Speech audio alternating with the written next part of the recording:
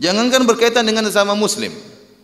Bahkan bersama non muslim tidak boleh kita menzalimi non muslim. Orang kafir ya kalau bukan kafir harbi maka tidak boleh kita menzaliminya. Ini sering saya ingatkan bahwasanya kafir ada empat.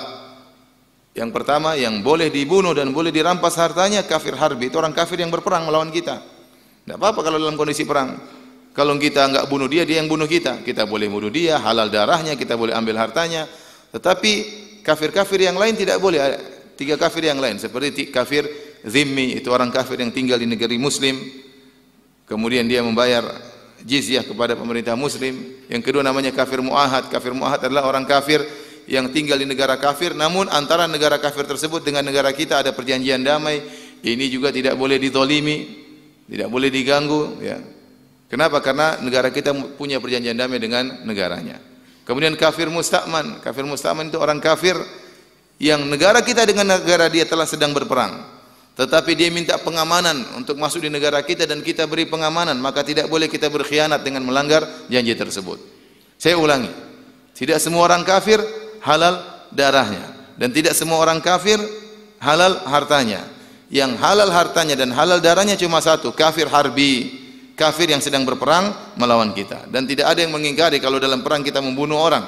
Karena kalau kita tidak membunuh kita yang dibunuh. Tetapi kebanyakan orang kafir sekarang yang sedang kita berinteraksi dengan mereka terutama di negara kita bukan kafir harbi. Bukan kafir harbi ya. oleh karenanya tidak boleh seorang menzalimi orang kafir apalagi membunuh orang kafir. Nabi SAW bersabda man qatala muahadan lam yarah raihatal jannah Barang siapa yang membunuh kafir muahad, itu kafir yang punya perjanjian damai, ya maka dia tidak akan mencium bau surga. Dia tidak akan mencium bau surga. Ini ancaman yang berat bagi orang yang membunuh orang kafir. Dalam hadis yang lain juga Nabi SAW bersabda,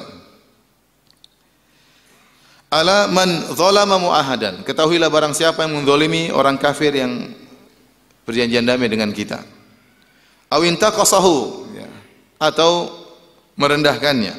Au kallafahu fawqa taqatihi. Atau membebani dia di luar kemampuannya. Ya, misalnya ada seorang kafir tinggal di negara Islam kemudian dia menjadi anak buah kita kemudian dia uh, jadi pegawai kita terus kita suruh dia kerja lebih berat tidak mampu dia lakukan. Nabi melarang. Au akhadha minhu syai'an bi ghairi tibi nafsin. Atau kita mengambil hartanya tanpa dia ridhai fa ana hajijuhu yaumal qiyamah maka aku akan yang mendebat orang ini pada hari kiamat. Aku akan membela dia pada hari kiamat. Hadis ini riwayat Abu Daud.